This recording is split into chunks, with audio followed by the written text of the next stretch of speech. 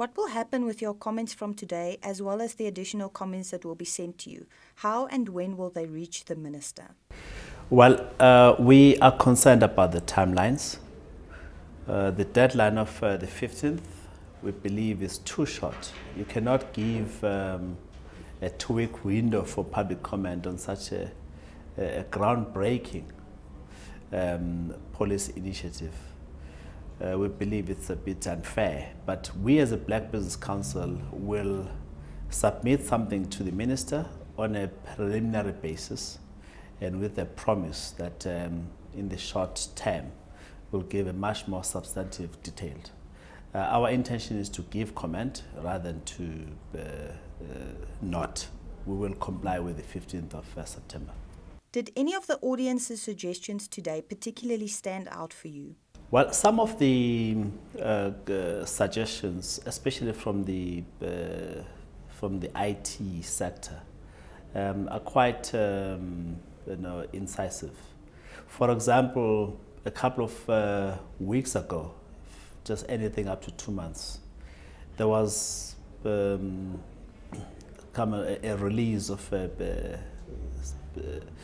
a, a statement from the Minister of Telecommunications um, around the matter of spectrum.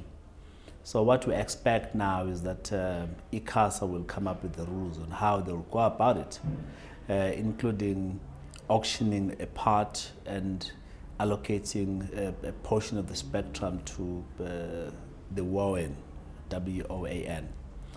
Um, what this policy um, statement from uh, the Minister of uh, Finance um, really is saying. It's, it's, flying against that kind of uh, direction. So, and uh, our uh, you know, experts on telecommunications are identifying that uh, almost immediately. So some clarity needs to be provided. And number two, it is our firm belief as a Black Business Council that a need to achieve a transformed society um, in all spheres, including the economy, uh, cannot be suspended just because of an economic crisis. Um, you can resolve crises without forsaking empowerment. So it is a sense that we're getting that um, this policy uh, relegates empowerment into uh, a second thought, uh, or if not into non-importance. And we want to uh, obviously um, express our strong objection to that. Uh, and indeed, um, it was picked up from the floor. You mentioned earlier that many stakeholders were excluded in creating the first draft of the economic growth plan. Why do you think this is, and do you foresee this exclusion remaining a problem with future policies and plans?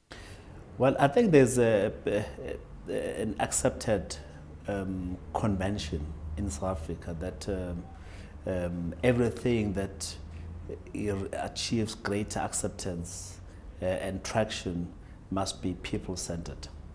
Uh, this is an attempt by Minister of uh, Finance to uh, achieve inclusion in terms of developing thoughts, um, but it doesn't go far enough. Uh, if there are some stakeholders who would have believed that such would have come first and foremost through the NEDLAC process, which is inclusive of labor, business and uh, organs of civil society, including youth um, and uh, uh, civic organizations, then you know they've probably got a valid point that uh, uh, you cannot take this to logical conclusion uh, without channeling it through that format. Um, and our belief is that there is no consultation which is perfect because the outcomes still will never achieve total acceptance in any case. So um, we are reasonably happy with this being thrown at us. We're just concerned about uh, the timelines, that uh, two weeks is just too short. Um, we have so much to offer uh, on paragraph one up to the last paragraph of that document. And um, we'll do our damnedest best, but um, you know, we cannot achieve that by Friday in its totality. So our view is that, um, you know, if we are a microcosm of um, what could be elsewhere taking place um, in the society, we feel that there are some constituencies who may feel that the time for consultations is not good enough, is not uh, sub, uh, sufficient, and therefore uh, they may feel um, maligned um, and um, alienated from the process, which basically weakens the argument around effective consultation. And uh, the minister needs to take that um, to heart and do something about it.